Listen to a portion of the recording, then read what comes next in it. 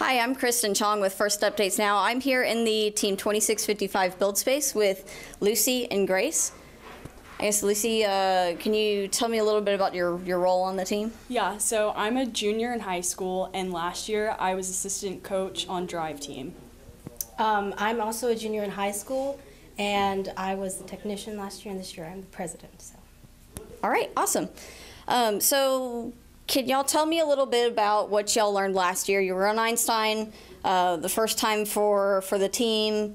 Um, I know y'all started with a really tall robot and chopped it in half. Can you Yeah. tell me a little bit about some of the lessons you learned last year and, and how you're applying that to this year? Yeah, so like our big lesson from last year was just learning to build within our means because last year we started, you know, with like the three level robot and then we had we tried to do like everything on the field instead of focusing more on what was attainable. So after our first competition, we chopped that down. So then we focused on like lower level stuff and had a quicker cycle time. So we're gonna try and do that again this year just by focusing lower level and on climbing the HAB platform. Okay, awesome.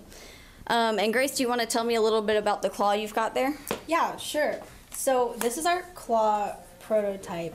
Um, we did a lot of research on how to pick up the hatches and stuff, and a lot of teams were saying that they were going to be using Velcro.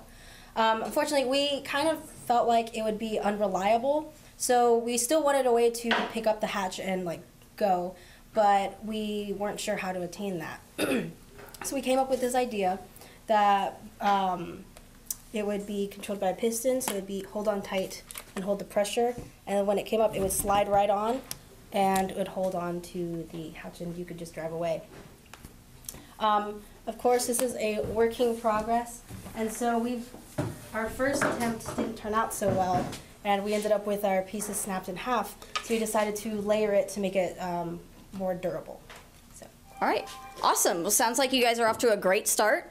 Um, best of luck to y'all with the rest of build season. Thank you, And thank Uh, we'll see you on the field. Awesome. We need your help to keep fun loud, live, and independent. Help us by visiting our Patreon to pledge your support at patreon.com forward slash first updates now.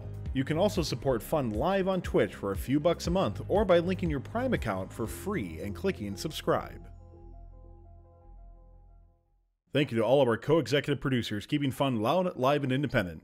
Pledge your support at patreon.com forward slash first updates now.